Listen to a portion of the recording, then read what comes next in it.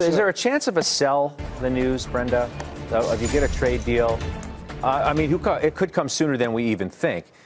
Dow's up nearly 200 points as we speak. Do we get that ultimate deal with the Chinese, and then is it a sell moment or is it a move higher moment?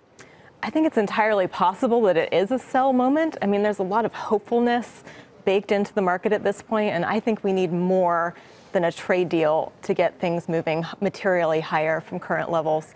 I think we need confirmation that earnings are too low for 2019. And I think a trade deal coming through may not do the trick. I think we also need global growth to stabilize and to be supportive and to have and you know currency is another issue we haven't talked about the dollar has been pretty strong if we do get global growth uh, uh, returning or stabilizing that should put some pressure on the dollar, and that would be a positive also for corporate earnings for those companies that have exposure overseas. Jim, trade deal, Fed pivot, those are two major things that are on your side as an investor. Yeah. Is that enough to continue to take this market higher, new highs in um, the offing because of that?